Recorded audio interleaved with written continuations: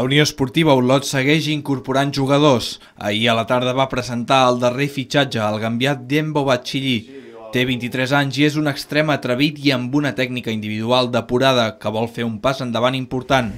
És per això que ve a l'Olot, després de la confiança que el secretari esportiu del club li ha mostrat. La meva història que era podia anar un tercer l'any passat, però sabia que no estava prou bé per, per, per anar-hi i volia formar-me, fer la pretemporada amb el primer equip i saber la meva capacitat i tot això, doncs en Reset confia en mi perquè em coneix i sap que puc estar aquí i jo li vull demostrar que, que puc estar aquí. Dembo és conscient que el seu creixement passa per fer passos petits, però de forma constant.